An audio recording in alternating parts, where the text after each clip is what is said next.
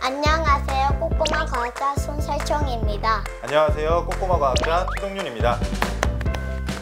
오늘은 화산 거인을 물리쳐라라는 책을 읽고 한번 화산을 직접 만들어보는 실험을 할 건데요. 네.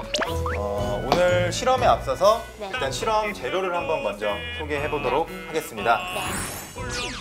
면산 등성이 울릉울릉 화산가스 솟아오르며 자, 이 빨간색 액체 같은 경우는 식초에다가 이런 식용색소 빨간 색깔을 지금 섞은 거고요.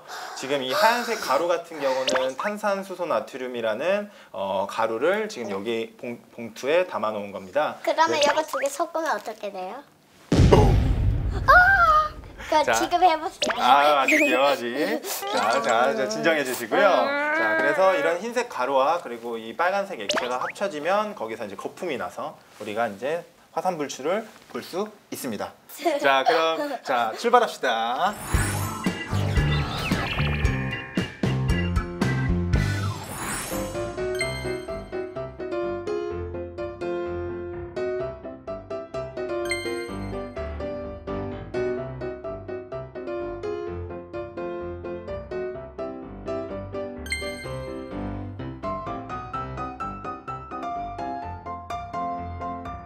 꼬꼬마 과학자님 이렇게 우리가 화산을 완성했습니다. 아! 자, 그러면 이제 뭐가 남았죠, 우리? 화산이 한번 폭발하는 것까지만 남았죠, 그죠? 이제 한번 넣어 넣어볼게요. 넣으면 어떻게. 되는지 한번 같이 한번. 봐볼까요?